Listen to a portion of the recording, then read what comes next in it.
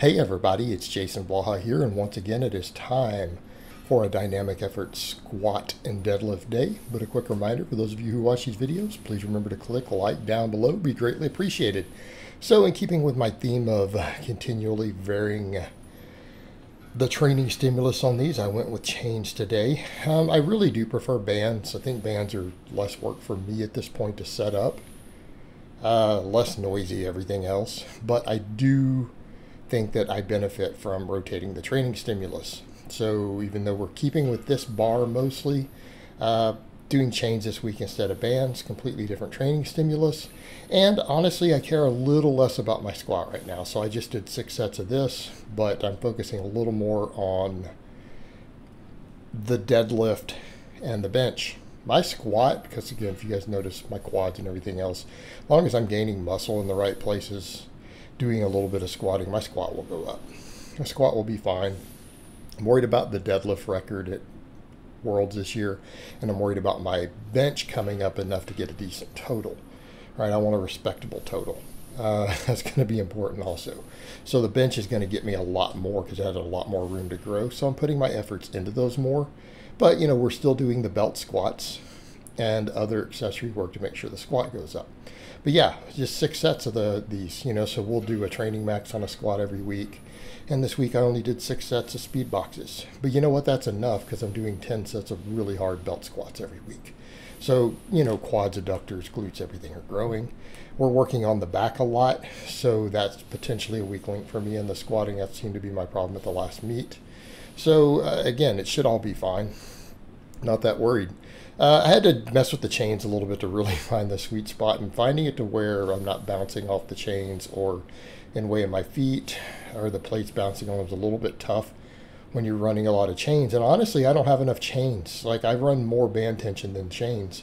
But if I don't use all the little tiny lead chains I have uh, that I used to be using before these spud straps, I only have 150 pounds of chains. You know, I have a bunch of little small five pound chains, but they're just not really what I want here. So, you know, we ran 150 and then, you know, 205 plate weight. So it's a little more plate weight than I might run, but again, we got good bar speed, and that's okay. Good bar speed. And next week we'll go back and do sumos with bands. Uh, and, and, then I might do conventional with bands the week after. So, uh, again, rotating the sumo and conventional on these, rotating around some bands and chains, keeping the training stress varied a little bit you know, but we are building all the muscles of the deadlift, right? I can get away with doing what I do for max effort and then doing this speed stuff if I'm building all the muscles, right? Building the entire posterior chain, everything. So again, we did 10 doubles on these, so this is 20 total speed pulls. So we're putting quite a bit more volume into the pulling than we are the squatting.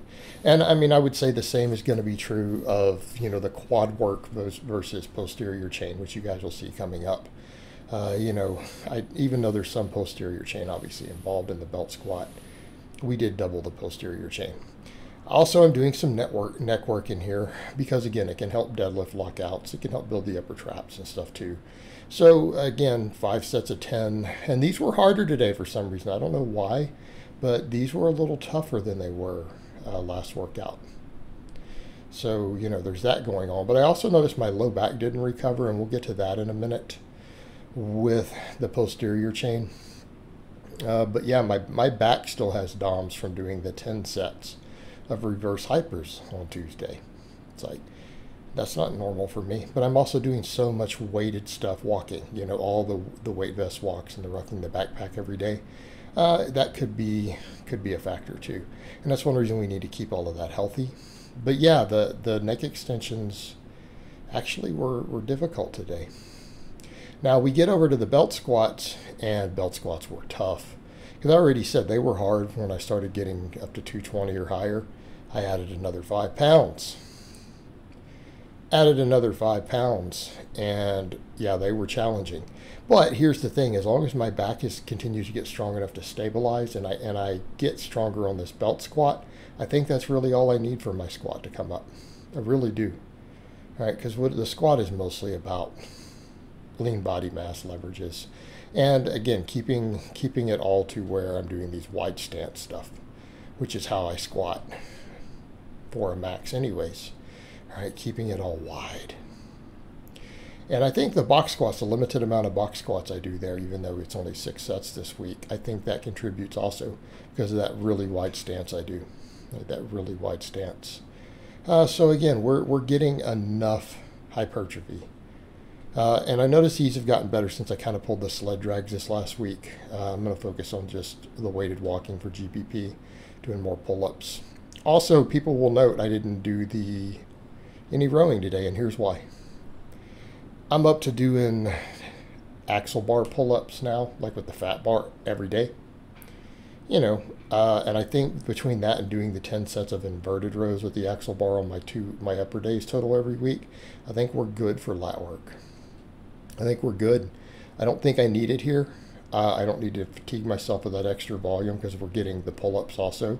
And as long as I try to get 10 sets of the pull-ups every week along with 10 sets of the inverted rows, I think we're good. I mean, that's 20 total sets for mid and upper back, keeping in mind I'm doing shoulder work and upright rows and stuff also on upper days. That also hits all that upper back. So I think we're pretty well in a good place there. But right now, things like triceps, you know, triceps, posterior chain, all of that's really getting a lot more volume. But I think now I'm doing everything with a fat bar and I notice it doesn't really knock my reps down on any of that stuff. I think that's going to continue to build the grip up. Because remember when I was doing the axle bar rows, it made my pulling so much easier.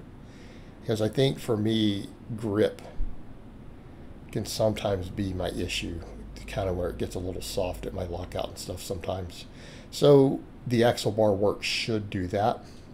But what we have to do with all this stuff, though, is I've got to look at all the volume and make sure I'm recovered workout to workout. That's the whole point with conjugate especially with the max work versus the speed work, is making sure we're recovered by the time we get around to the training maxes again the next week. Okay, that is critical. And if I'm getting DOMs lasting this long going into Friday in my low back, I've got to adjust the low back work. Now, I do think doing the, the 10 sets, a couple workouts in a row, has helped me get stronger real fast on that. It's helped me get stronger real fast. So I noticed I was able to progress again on the reverse hyper, even though I only did five sets.